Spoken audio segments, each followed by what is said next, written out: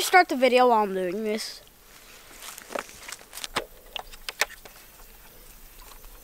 Turn that off. Get that little car right there. And I'm going to slide this one in. Just like that. And then we're going to turn right back on. Whoops. So, what's up guys? We are back with another video. Before we get started, go down there, subscribe, ring the notification bell, and like this video so you'll never miss another video that we post. So today we are going out to check our trail cameras, obviously. So, let's just get right into it.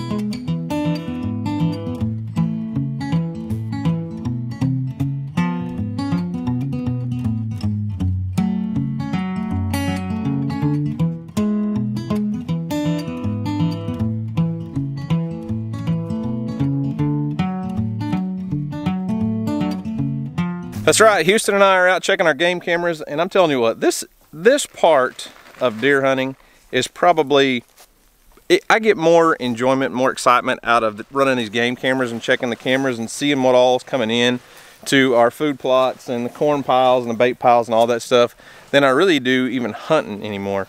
I absolutely love taking my kids hunting and letting them kill it. There we go. Well, Houston just threw the whole bag of corn on the ground. I guess that works. But I, I mean, I absolutely love taking the kids out and letting them hunt. But this part, uh, it's just so neat to see what comes in and gets their picture taken on these game cameras.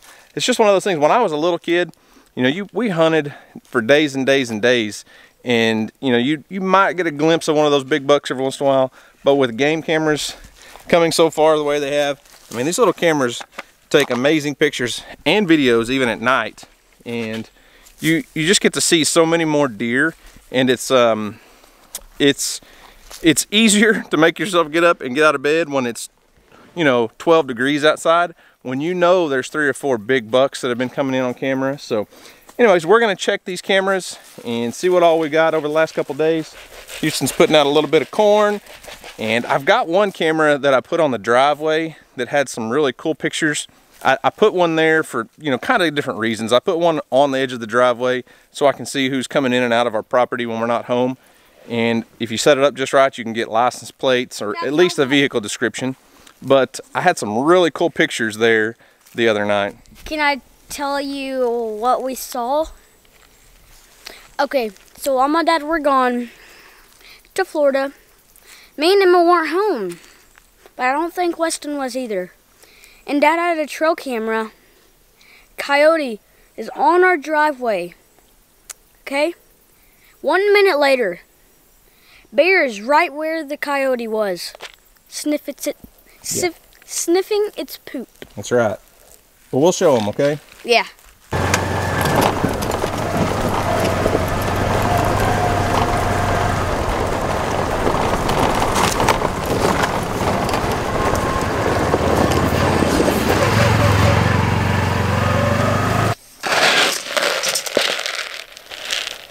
It out. I think that was a little too far there, A. I'm gonna throw some more closer. That is awesome, dude.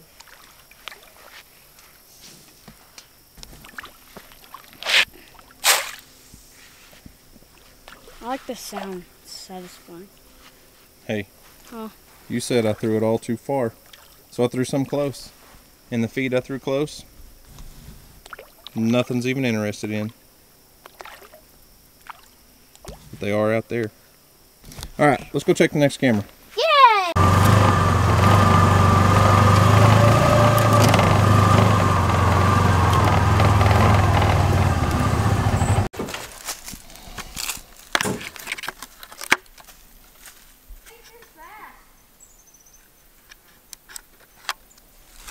Hang on, So- hang on. What? What? What? What? What? How did that even count of hanging? because I wrapped it around that stick. But you guys may notice on our game cameras, you'll see these blocks hanging. These are, are molasses blocks, molasses blocks that we're testing out for a company. They sent us about four or five boxes, and, and really not even going to talk about the company. It's not important right now. We're just trying to get pictures, see what comes in. But they sent us four or five different different uh, flavors, didn't they, Houston? Do you remember what flavors they sent? There was grape, Grape. Mm, watermelon, Yeah, watermelon. peanut butter, Peanut- vanilla, and I'm telling you what, they smell delicious. And if you get that oil on your hands, it smells like that for hours, doesn't it? They are stout. So we'll see over the next couple months what they do. Last year we had some similar blocks to these, and the big bucks really would come in there and just lick on them like crazy. But we shall see, huh? I That's how Emma got her deer. Mm-hmm.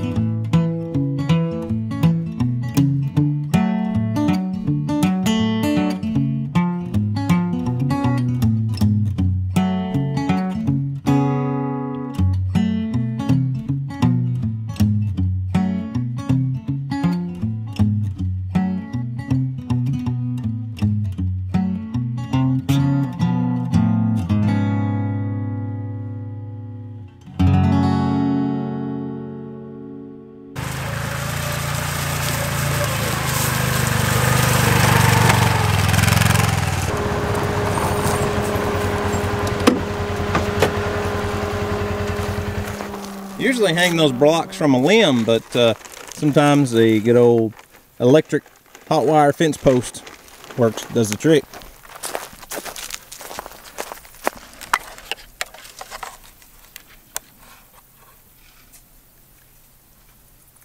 Four hundred and forty-two pictures, Houston.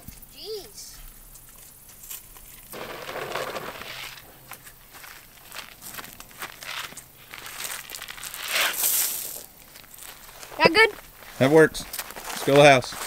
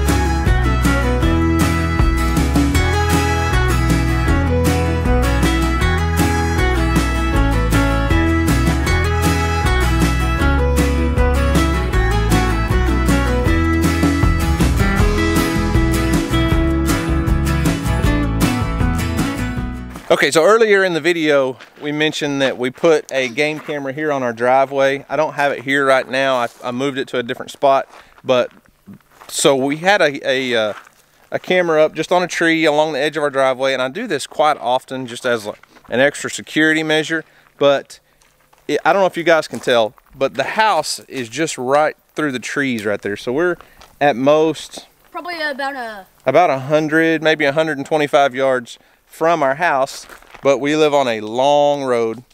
And I was shocked to see how many coyotes are coming up and down this road on a nightly basis. I mean, all the time. And as you can see, Bear is definitely doing his job. Bear is always on duty and we can hear him barking at night, but you just really never know why he's barking. But clearly, he's doing his job and getting after those coyotes.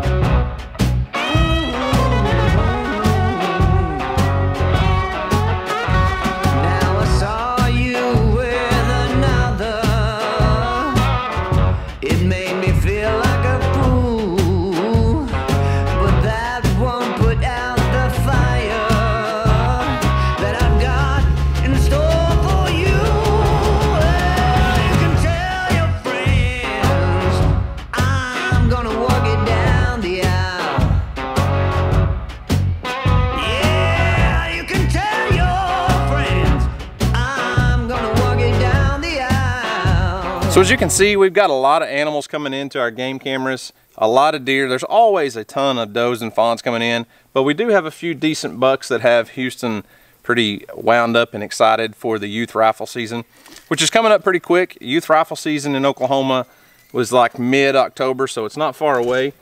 And uh, it's always cool just to be able to see what's on those cameras.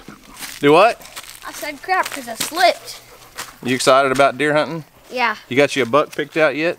Uh, well, well, we, we've seen one, and that just might be the one. It's an eight pointer. It's pretty nice. It's pretty nice. Houston is pumped to get to hunt on his own this year, or actually get to hunt not on his own by himself, but with me, obviously. Like, And- but shooting. That's right. Houston's, this is gonna be his first year to actually be behind the gun and possibly harvest his own deer. So anyways, as I was saying though, it's really cool just to see what all comes into those game cameras. Hang on, hang on, just hang on. Okay.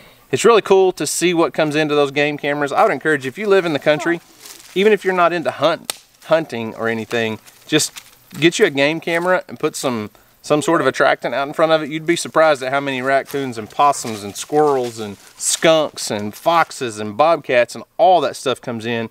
I mean, we get pictures of turkeys, we get pictures of owls. We've had all kinds of cool. We've even got otters on game camera before, haven't we, Houston? Yeah. So one thing people always ask is which game cameras we recommend or which ones are the best or whatever. I've used just about every company under the sun. We do hunt with a show on TV called Final Descent Outdoors.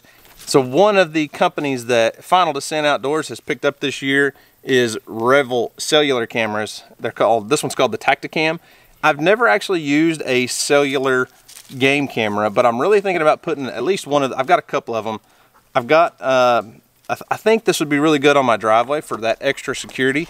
So the way these cameras work is if it has cell phone service, which we kind of struggle with in our area, if it picks up the cell phone service in a good spot, it will actually text you pictures or send them to an app and notify you that something's moving in front of your camera. You can pick it up and see it in real time. So I, I haven't got these, whoa, haven't got these out of the box, even tested them out at all yet. I'm gonna get them all set up and, and ready to go. They're not a sponsor of our channel. This came through Final Descent Outdoors. So it works with AT&T and Verizon. So I think, I don't know, we'll test them out and see what it does. But I think it will add a really good extra layer of security for our farm. So it just notifies us when somebody's on our driveway or when animals are close or whatever it is. So, but uh, anyways, guys, that's all I've got for today. I hope you enjoyed looking at all our game camera pictures. We've got pigs and deer and all kinds of cool stuff moving around and uh, coyotes everywhere. It's crazy. Those coyotes are, you know, at night they're 100 yards from our house and Bear does his job keeping them off. We've never lost a goat to a coyote as long as we've had Bear or Callie, our original Great Pyrenees livestock guardian. So they do their job, even though those coyotes are in here pretty close. So guys, I'm gonna wrap it up. That's all I've got for today. Thanks for watching. We hope you enjoyed it. Y'all have a great day. And as always, we'll see you on the next video.